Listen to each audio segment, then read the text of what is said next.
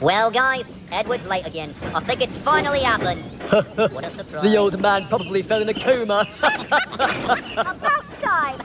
Either that or he forgot us. I wouldn't doubt that either. well, when he does come and pick us up, we should give him a little wake-up call for being late. Oh, here he comes now. Duh, I don't think that was Edward. Yeah, that wasn't Edward, you idiot. Oh. Is that, is that Thomas? Come on, come on, let's move Oh, I believe you're mistaken. I'm your engine for today. Oh, come on, you don't want me to be your engine? No, you suck. We need a proper engine to pull us. We want Edward. Yeah.